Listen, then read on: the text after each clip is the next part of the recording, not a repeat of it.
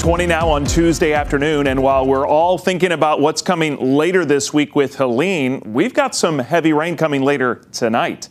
Not much going on outside right now in central North Carolina on the radar, but you see there's more rain back to the west. That will head in our direction. So let's skip ahead to later tonight. Futurecast picking up some widespread scattered showers by 8 o'clock. But watch what happens as we go into the evening. This is at midnight, and you can see more heavy rain developing closer to the Virginia border and north of the triangle. Some of that heavy rain holding on over the same area through the early morning hours of Wednesday before we start to dry out early Wednesday morning. And then a drier day tomorrow as there's not a whole lot going on until later in the afternoon. So our concern later tonight is with heavy rain and part of our area, again, north of the triangle up by the Virginia border through late tonight in a medium risk of a flash flood threat. So we'll keep an eye on that.